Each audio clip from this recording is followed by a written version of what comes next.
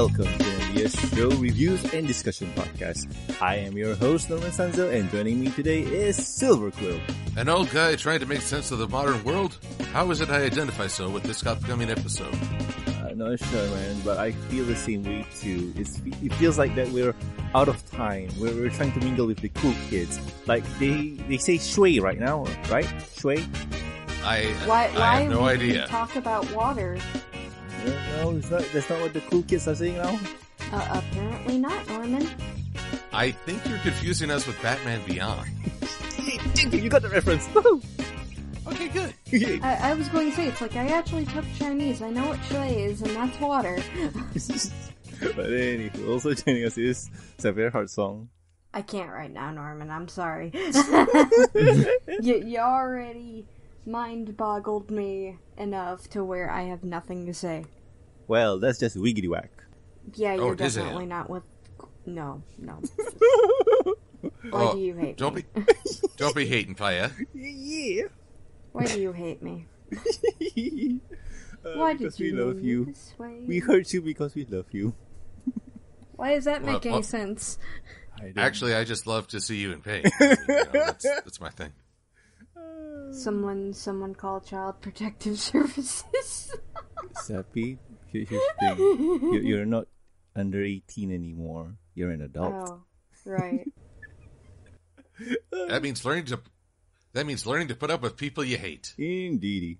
and also, oh no, no, bad segue. No, anyway, also joining us today is Torterra. I'm still trying to fit into the world, but I'm not part of this pony universe unless I'm put my pony OC. So put him in. Maybe. All right, all right. So in today's episode review, we are going to do season eight, episode twenty-one, Rockhoof and a hard Place. In this episode, when Rockhoof, one of the pillars of Equestria, has trouble fitting into the modern world, Twilight Sparkle and her friends try to help him find a new purpose. So let's go to first impressions. And Silver, what do you think? I enjoyed this episode. I knew it was going to be about Rockhoof just by the spoil by little teasers, but it, I was very pleasantly surprised when it turned out that it was a checkup on all of the pillars, except for Star Swirl, who gets to appear to, well, in FU. He, he I still get to say it. he, he gets his own episode. Let, let's Yeah. just say that. Yeah, but no, uh, the the only uh, mishap is Stygian. Like we didn't really get to see Stygian. But we get to find out what he's been doing, and he got a very prominent role in uh, Nightmare Nights, which I enjoyed. Yeah, that, that- but So- but the downfall about the com oh, sorry, not downfall, but the negative about the comics is it could be non-canon until it's stated otherwise. But still, it was much fun. It was fun. Yeah, it could be. But hey, I enjoy a story, and this was a fun story. There are some moments where you're kind of a head scratcher, but then it gets dark. So dark. I'm just like, wow, they went there. Yeah, They really went there. it's Chekhov's gun. Like they brought it up and they might use it. Well, anyway, those are my first impressions. True, true, true, true. And also, Sappy, what do you think? Yeah, I'm with Silver. This episode got dark. Like, I did enjoy seeing all the pillars again, though. Other than you know, obviously Stygian and uh, what's his Starswirl? name? Starswirl. Yeah. Yeah. I, I'm not exactly awake myself, even though I should be. Um, I'm I'm there, but my brain isn't. Uh, It's cool. It's cool. I don't really remember. I do love Yona in this. Yona is kind of the best here. All right, then. For reasons I can't go into now, but you'll find out later. Yaki's best character. Yay! So okay, and Tara, what about you? I really liked it. I mean, I don't remember it being uh, dark the way Silver and Saf- Safi mentioned it, but How maybe did it'll. you, how did you not pick up on the dark elements? because I'm a kind, generous person. True. Well, well, hopefully we'll remind you of why that is later on during this review because it gets dark, man. yeah, I'm, I'm pretty sure it'll come back to me. Yeah. Wait, we're reviewing Dark. We're reviewing Darkman. Oh no, not that one. Give me the pink The elephant. blue and the what now? Uh, you're too young to understand. It's like pink, pink element. The, the, the- Give me the pink I'm elephants. done. Uh, old people joke. Get it? Nobody's gonna get Yep. it. I don't get it. I, I I can't even with these kids today. I just I don't even. I know. But anywho, as for me, this episode was a lot of fun. I like the interaction between uh, Rockhoof and everyone. Like, he is the literal definition of fish out of water.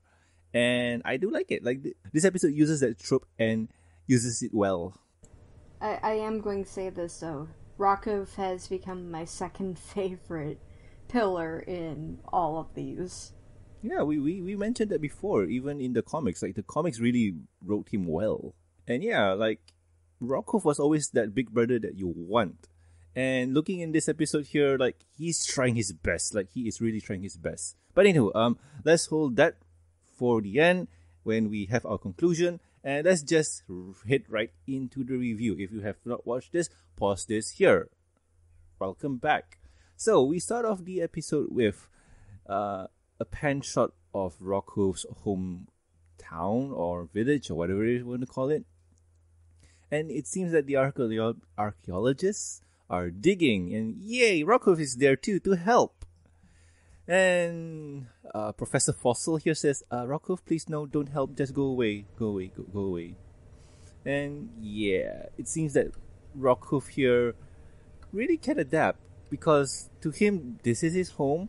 To the rest, it's just what you call this history. So it's kind of strange. Like, yeah, re- really strange.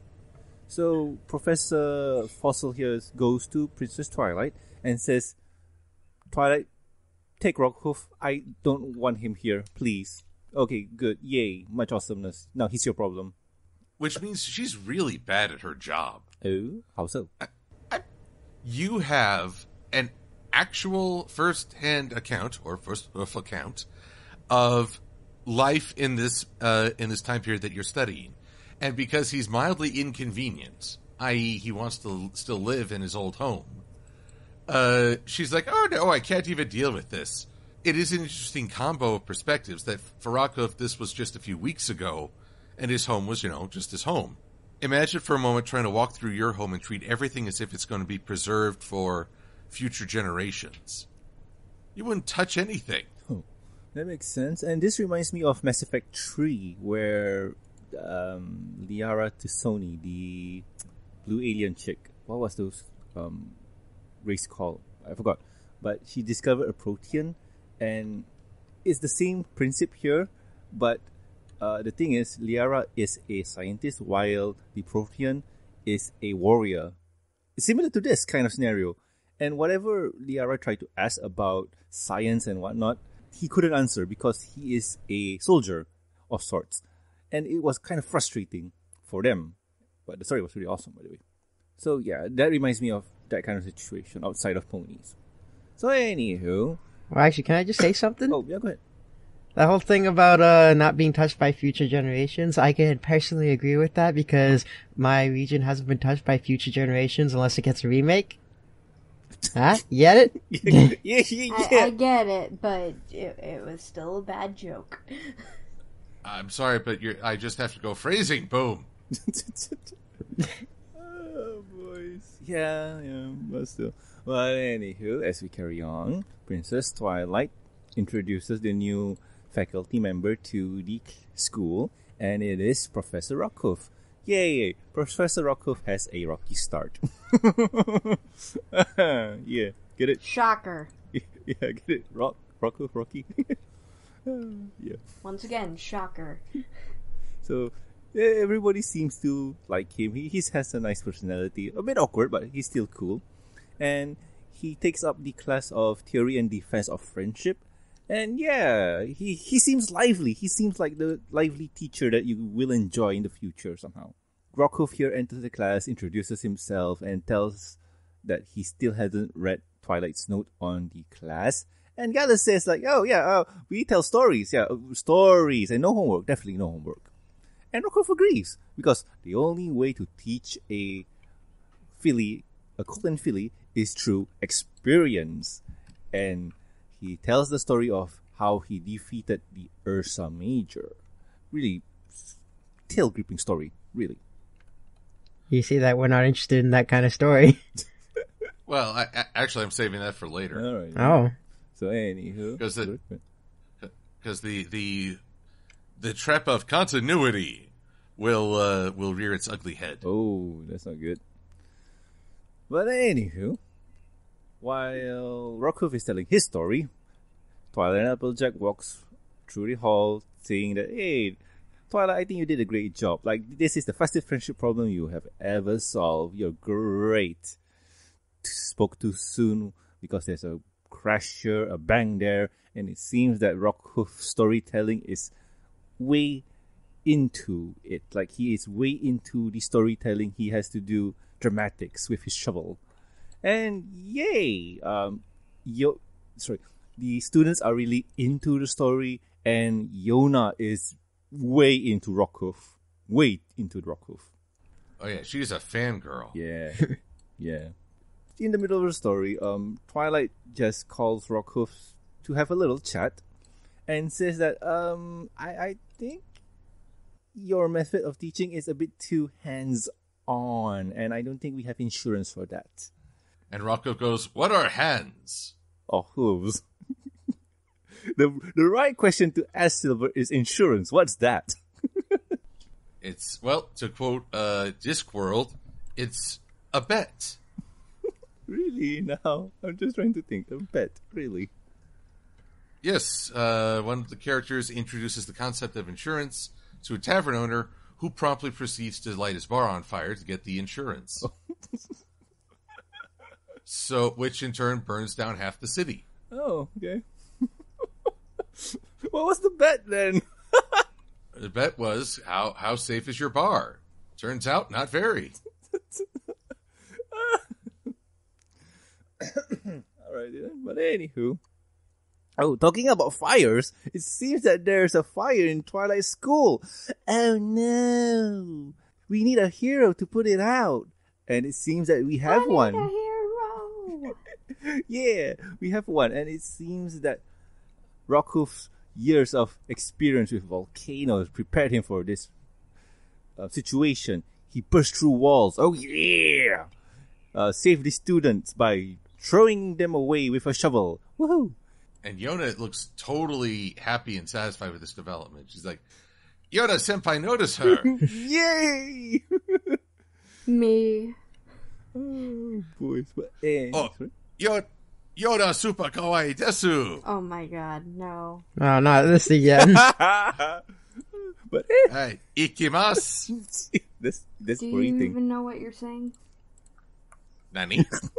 But anywho, um, I'll Rock- take that as a no. Rocco smashes the fountain and douses the fire with the water that's coming from the fountain. And Rarity comes out and just complains, "Who who who the hell rain on my parade?" And Literally. yeah. And Spike and uh, Smolder here comes out and says, um, what what happened? Like, what literally just happened? And Rockhoof here says, no problem, kids. I just saved your life from a fire. A really, really bad fire. And Twilight, sorry, and Smolder and Spike just says, fire? What fire? That was us. We were fire breathing things. Like we were doing a contest. And Twilight says, we were trying to tell you about this. And yeah, you, you were too gun ho. And that really put him down. Like his emotion is really down. Well, Oh. why why are they holding a fire breathing contest in the school? That's just asking for trouble. Silver, silver, That's prove that's proving they say right. yeah, silver is for the insurance. Oh god, the Twilight Great. The the Tree Harmony made this school and turns out it's just an insurance scam by Twilight. yeah. This is how they don't charge tuition. They just try and scam the, the insurance company. Anyway, sorry, Torterra. What were you going to say? Well, I was gonna say too that uh, Twilight says that. Oh, I was trying to tell you. It didn't look like you were trying to put so much effort into even stopping him or going, getting his way and be like, Rockhoof, wait, it's just a fire breathing competition. It's like you weren't even trying. You wanted him to destroy your fountain and put out the fire. No, you see, it's like, no, Rockhoof, wait, no, no, don't. No, don't. stop. Come back. yeah, yeah, yeah. Oh, boy. So, anywho, uh, the main six plus Spike holds a meeting, um, discussing what can Rockhoof do besides teachers teach at the school, and uh, they did a few things like uh, Applejack saying um, something to do with the post office, delivering letters. Uh, that didn't work out. Rarity tried to do him a favor by making him work at the spa. That didn't work. Um, poor Bulk with his broken spine, and with Zecora too. Like Zecora asks for leaves, but Rockhoof thinks about, hey, maybe if she wants to leave, I can just give her the tree, and that causes Beast to come out, and nah, that, that's not gonna work, and so on. So um, the rest decided, hey, why? What about the other pillars? They seem to be doing well, so why not we just uh, introduce Rockhoof to them and see if they could help Rockhoof out? Like maybe that could work, right? And so they do. The first place they go to is Canterlot with Flash Magnus, and it seems that Flash is adapting really, really well. And it seems that like he is the drill sergeant for the recruit for the Royal Guards. Yay. Which means, might he train Flash Sentry? Probably. I don't know. Could be. Well, I mean, they're both yellow. Yeah, I'm kind of, I'm kind of thinking. Oh wow, I was, my parents named me after you. That'd be something to Oh hear. boy. So- Or this could be a plot twist, and maybe Flash Magnus could be a uh, long ancestor of uh, Flash Sentry. So, so whose waifu did you steal? oh my goodness. But anywho, um, when they introduced Flash says like, yeah, after I got freed from the uh, mission, whatever it is that we did last time, uh, I went to Princess Celestia and Celestia gave me this high positioning rank. Eh, yeah, I'm just doing whatever I was doing again. Really cool. Yeah. And Rockhoof is like, oh man, this is not cool. That's not cool. So they decided to go to Miss bec- because Flash said she's doing well. And yeah, they go to the Crystal Empire, and it seems that Mistmane is doing a lot of crystal flower thing. Yay! Much awesomeness, I guess. Once again, best best pillar. Yeah. For a good Although I gotta, I gotta ask though, why is she not like back at her family's garden? Did she take one look and say, "Yeah, you guys messed this up, Royal. I'm out." Probably, but I think it could be a challenge for her because, oh, working with organic is lame. Let me work with rocks. Yay. But anywho, uh, as we carry on, Mistmane says, why not you go to Somnambula? She's doing something new, like she's doing something that has not existed before. And they go to Somnambula to see Somnambula. Haha, get it? But anywho, Somnambula is a motivational speaker. She talks to the ponies, telling them to relax, telling them to, you know, um, let go and do the impossible, see the invisible, row, row, fight the power. And with all that, it seems that Rockhoof is too relaxed and couldn't really do the meditation thing. So, anywho, they shift off to see Meadowbrooks. And Meadowbrook is back home doing her thing, which is selling potions and medicines to the ponies and creatures who need it. And yeah, Rockhoof is impressed and kind of sad and bummed about not being able to go home. And Applejack says, "Ah, you know what, Sugar Cube, you don't have to worry. I'm, I bet like Star Swirl and Stygian are adapting too." And Twilight comes in with a book, and he's and Twilight just says, "Yo, guys, look, it's T- Stygian. He wrote a book, and it's the third bestseller. Wait, Yay!" wait a minute. Wait a minute. Norman, Yes. you're you're like you're you're saying you're trying to voice in like Applejack, like saying like, oh, they're they're adapting just fine. They're doing fine. That should make you feel better, right? That's not what happened. I'm just Your your perpetual failures compared to your uh, are only worse compared to your peers. but it's okay, Sugar Cube. also, do you think Applejack's feeling at all weird that like this was her idol at one point, yeah. her favorite story ever, Apple Bloom, Yeah, that's and now she's having to counsel him. She's like, "What? What is my life, y'all?" yeah, true that, true that. So anywho, this really depresses Rockhoof, and Rockhoof kind of, you know, feels down, and the rest of the ponies try and figure out something like what could they do. And Twilight has a brilliant idea to try and send him to the Royal uh, Hippogriff Navy. Outsourcing. Yeah, it seems to work a bit. And Applejack just have to say, "Yo, Sugar Cube, like, ain't these hippogriffs know how to do the what you call the sea pony thing and so on?" Oh, Dizam. Can I just say something though? I never knew Applejack talked like that, being like, "Yo, sugar cube." I'm just trying to summarize stuff. Like, if I go on with the way I used to do, we're gonna be here for a while. Let me be. let me alone. so, hey. No. So anywho, as they sail, a thick fog comes in, and the hippogriff says, "Oh no, we can't see anything. Let's wait it out. Let's wait it out." Rockhoof says, "Oh no, we can do what we really do before, back in the days where we can just navigate via the constellations." And the hippogriff says, "Yeah, that's a good idea. Let's go. Let's let's try." They do, and they ram their boat into a rock. And wow, Twilight just realized, oh wait, it's been what, almost a thousand years or more since Roku was here? And yeah, the whole world just moved left. Oh wow, the whole world turned left. We we we They're became the making a left anti-Zoolander. Look, I turned left. No. They're making another left turn.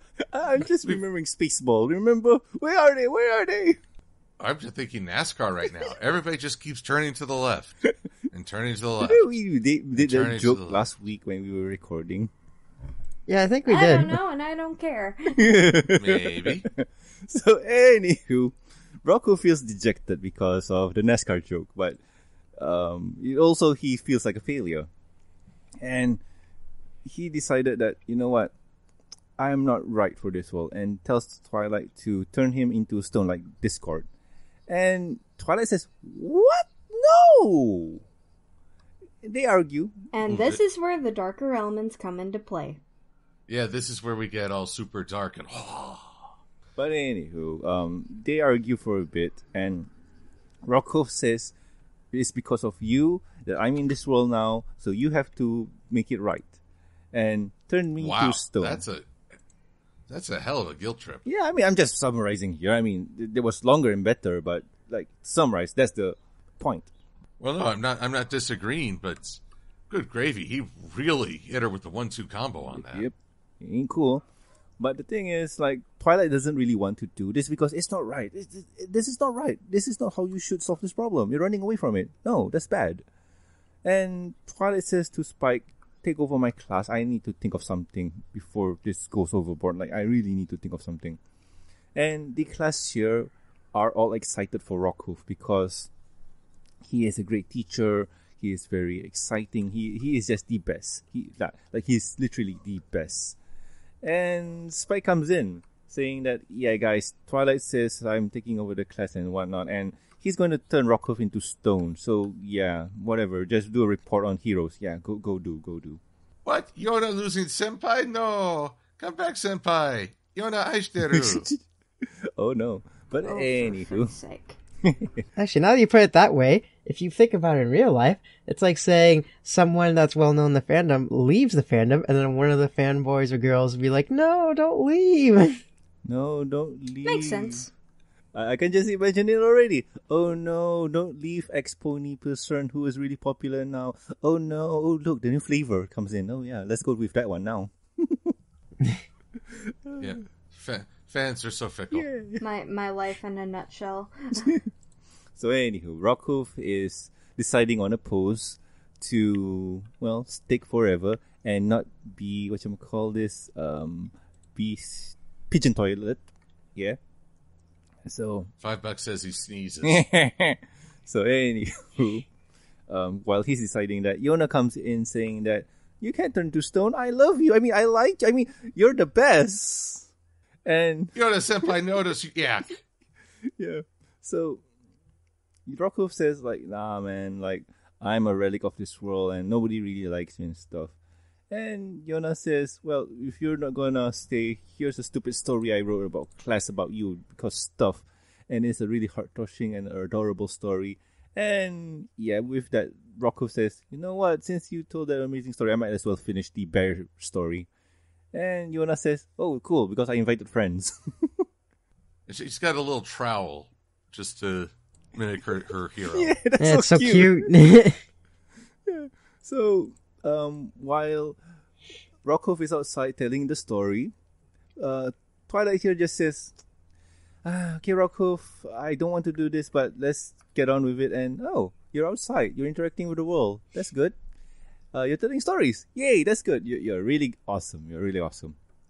So, Rockhoof tells the story of how he defeated the Ursa Major, and long story short, uh, he flipped the bear up to the stars, making it a constellation. Yays. Which is where my continuity uh, trap springs. Oh no, you activated his trap card. Oh no. oh no. What a shame you activated my Alucard. Oh no. Spell Alucard backwards. I dare you. It- you know it's just like I know what it is. Alright, but anyway, But- okay. Remember that the very, very start of this series, uh, Nightmare Moon would be released because the stars aid in her escape. Now we find out that the stars are are at least one constellation is a freaking Ursa Major that Rocco flipped. so I have this image of Nightmare Moon emerging from her uh, prison, and the first thing she sees is an Ursa Major roaring in her face. No wonder she's so pissed off. I'd be the same. Oh boys, but no. Um, I, I think the aiding of the escape. Okay, here is a bit of a, uh, kind of weird story to tell because it has to do with the comics. Because the stars, it could be chaos. yeah, it could be. Yeah, Who's I've chaos? want- Oh, uh, there's Cosmos. Oh, Cosmos, not chaos. Uh, Cosmos is the antagonist of the current uh, story Wow. That that's unfolding right now, and we'll review w- in good time when it's when it's complete. well, oh, we can catch up to it. Either or. But I just I love the image of Nightmare Moon just screaming in terror as an Ursa Major greet, greets her on release, like "Welcome back!" Ah! there we are. But anywho, uh, Twilight says, Rocco, you're awesome. You're a good storyteller. Me, as Princess of Friendship, declares you as uh, Keeper of Tales. You will tell stories till the day you die. Much awesomeness. What if I want a career change? Till the day you die. And yeah, now Rocco has a new story about a young yak, dragons, hippogriffs, a lot of hippogriffs, and a griffin, and ponies. There's a lot of ponies too. And the tale starts with when Rocco was at his hometown. and episode ends. Let's not repeat the cycle. so uh, let's go into final thoughts. So Silver, what do you think, man? Well, Rockhoof represents something that is not often remarked upon, but when people talk, go on about the hero's journey, how many people focus on the return? It's the element of the story where the hero, having experienced this other world or gone on this transformative journey, comes back and has to and is now master of two worlds. But the return is not always uh, easy or clean. I can name you three that prove this. There was Rip Van Winkle. Fell asleep under a tree, comes back after like 90 years. He's an elderly man. And suddenly he is uh, surrounded by people it, who resent the king he once uh, celebrated and worshipped as a loyal Briton.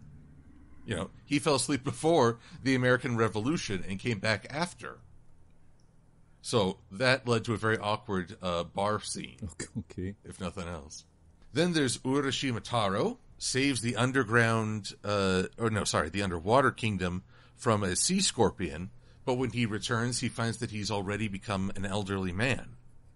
Uh, the passage of time was very different, and he's missed out on most of his life. And then in the Celtic legend of Tirnanog, there's Oisin, who uh, he falls in love with uh, a woman of the other world, but he has to return home to see to the death, the funeral of a family member. And she and his love cautions him: if you touch the ground, if you get off this magical horse, who I have named Twilight, Ha ha ha ha ha. uh, you will not be able to return. And wouldn't you know it, he done goofs. Why? He accidentally touches the ground, and the horse disappears, and he instantly becomes old and dies of old age. Ooh, that's not a good way to add. And I mean, that that's kind of the thing. You think, oh, I'll return in triumph and I'll be this great hero. No, sometimes the return is really hard for the hero and really painful. Mm-hmm. And it's a struggle just to understand what am I supposed to do now? no, no, one more to add to the list. Oh, who? Uh, Steve Rogers from Cap- uh, Marvel's Captain America. There you go. He really had to struggle and in some ways remind people, hey, maybe you need a little old school in your life. Yeah, and also like evil comes in many shapes. Language. A little old school. It sound sounds like a bad pickup line. Hey baby, you want a little old school in your life? Oh my god. I already feel very uncomfortable. Oh, another one. thanks, Samurai Silver. Bah, bah, bah, bah, About bah, the bah. that's Samurai Jack. Yeah. Well, that is the that is the hard thing. He's got to he's got to live with the fact that the entire world he witnessed, as horrible as it could be, he used to say, "The only way I'll see my family is in my memories." Well, now it's the only way I'll see the Scotsman and Ashi and that whole world is in my memories. So, I thought I'd just bum the heck out of everybody with this observation. Yeah. It's- Thanks a lot, Silver. My pleasure. Torterra, give me a vial of your tears. I wish to add it to a fine wine. this, there you go. There you go. This- uh, give me a little lip quiver. Uh, what? Come on, it's not true tears unless your lip is trembling. Voice. Oh, I can't do that. Ah, we'll work on that. so, anywho, is that all, Silver? I think that's well. Okay, I really just enjoy this. I enjoy the interactions with the students. I enjoy Rockhoof, and I enjoy the unintentional humor of implying an Ursa Major let Nightmare Moon out. Yeah, yeah, yeah. Alrighty then. Fan artists, get on that. Oh boy. And Seppi, what about you? I, I'm pretty much in the same boat. I like this episode. I, I am still kind of shook by the suicide implications. It's not suicide when you know you can come back. Well, the implication is there that he w- doesn't want to come back. but he can still listen to the people while he's turned to stone. Yeah, like Discord did.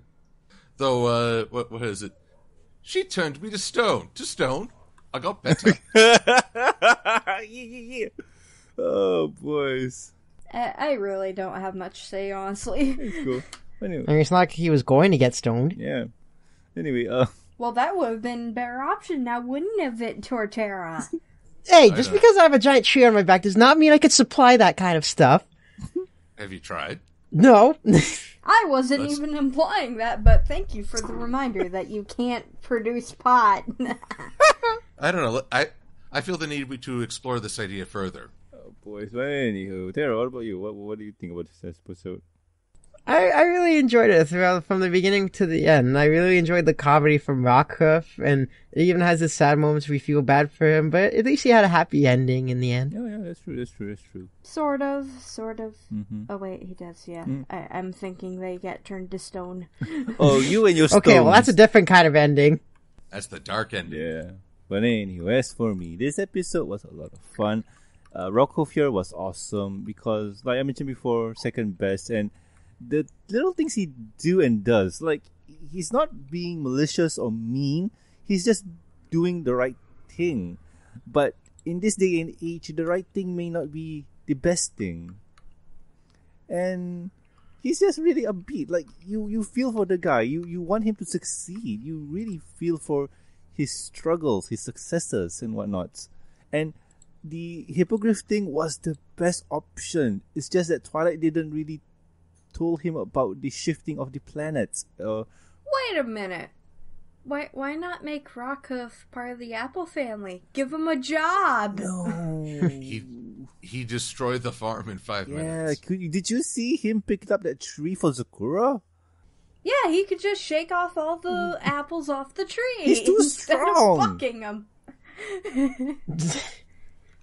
you you never know. You could have given the guy a chance, but no. Well, actually, throughout the whole episode, I thought that his final job, instead of being a storyteller, I thought he was going to be like a fire pony. Fire pony? What do you mean by that? Like taking out fires, like a fireman. Oh, that makes sense. Yeah. Because he's dealt with fire before, and you saw him take out the fire at the school, and, you know, it could have clicked into Twilight's head. Be like, hmm, that gives me an idea. And then all of a sudden, hey, he, we got a new person. He's really great for taking out fires, as long as you got a fountain for him to break.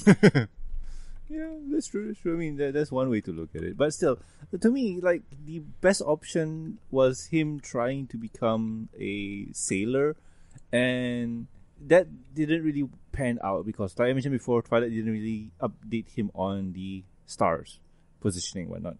But still, it was a good try. It was a good try. But the story here is one of those things where experiences speak a lot, but sometimes without the right kind of experience, it's not really that great. I will admit I'm a little surprised that Prin- no one thought to say, "Hey, Princess Luna, you went through adjusting to this here modern world. Any tips for Rockhoof? Play video games. Play a lot of video games. Have a holiday named after you and wait for everyone to uh, worship you." Yes, yes, yes. Very much. Yeah. Happy St. You wanna- Day! You're not okay with doing this. You're not. You're gonna make Senpai best day, and then Senpai noticed her. Oh goodness me. Yeah, like why why didn't Luna help? I mean, I I'm, I bet Luna has an extra console lying around for him to play, an extra PC to play Overwatch or something like that. Yeah, Rockhoof can play Reinhardt. He works well. No, no, just me. No. I, no. I, sorry, dude. Apex is the big thing Oh right now. no! Oh no! Not Apex! Oh no! Oh, you got something against Apex? Series. I do. It's made by EA. What do you have against Apex? It's made by EA. No, it's not. Yes. Well, okay, it's not. It's made by uh, Revive. No, uh, Re- Re- Revive. No, what, what was it again? No. So, so you refuse to play a thing because it's made by a company that's not even made by But they own Nor- it. Norman. Your your They logic is twisted. No, it was made by Respawn Entertainment, Norman. Come on. but on. established by EA. So, Yeah, EA's evil.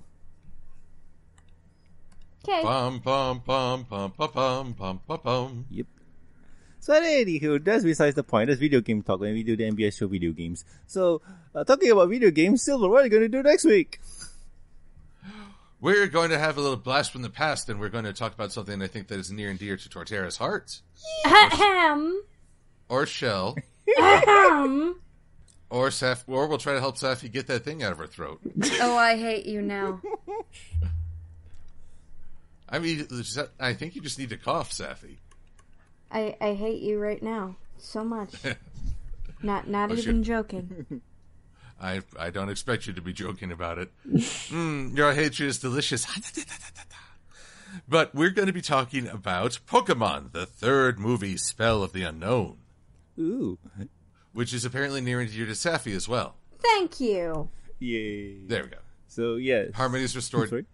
Sorry? Now, Torterra, before we do this, we need to find out if that shell can make with the good stuff. It cannot. I already Oh tried. God. But, Well, try harder. but anyway, yes. Next week we'll be doing the Pokemans, and that is also a Patreon sponsor by myself. Like it's a redo. Like we did this before, but it didn't pan out because derps.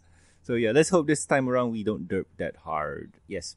So anywho, if you guys have any questions, concerns, or suggestions for the show, you can contact us at thembshow@gmail.com. You can also reach us on the Twitters. The show's Twitter account is at MBS Show, and my personal Twitter account is at Norman Sanzo. Silver, where can the good people find you? Well, they can find me on the Twitters under MLP Silver Quill. You can find me on the same under Deviant Art. On YouTube, if you do a search for Silver Quill or After the Fact, you shall find me. And every Wednesday, I am posting either a comic review or editorial for the IDW comics. Awesome, awesome. Also, yeah, th- those um, reviews are really awesome. Uh, reminds people that hey, comics out and go check it out. And also, Sappy, where can the good people find you? Well, you can find me anywhere from YouTube to DeviantArt to Twitter under the name Anime Christie. Also, if you're coming to BabsCon, I'll be at Table H5 under Bright Crystal Studios. If please, please come. I I need money. Thank you. Alrighty then, alrighty then. And also, Tara, where can they good people find you? Well, the people can find me under Facebook, DeviantArt, Twitter, or YouTube under the name Torterra1324, or they could also donate some money to me on Patreon. Cool, cool, cool, cool. And also, please subscribe and rate us on iTunes, YouTube, and don't forget to press the bell icon to stay up to date. And also, Stitcher Radio, and also like our Facebook page. You can also catch us on ponyvillelive.com. Links are in the show notes. If you'd like to support the show, you can do so at patreon.com slash the MBS show. With every support, you'll get a week's early access to review and discussion podcasts, exclusive and deleted content, and a huge thank you from me. Talking about the thank yous, I would like to thank Amy, Lucky Knight, Tristan, Starstream, Jeffrey, and also Master of Light. Thank you so much, guys. You're great. So anyway, I have been Norman Sanzo. I'm the Silver Quill. I've been Asafi. I am Torterra1324. And we'll guys catch you next week with another fun episode of the MBS show. See ya! Rockhoof Senpai notice Yona! Sticky! Well, that just ruins my vibe. Really now. Yes.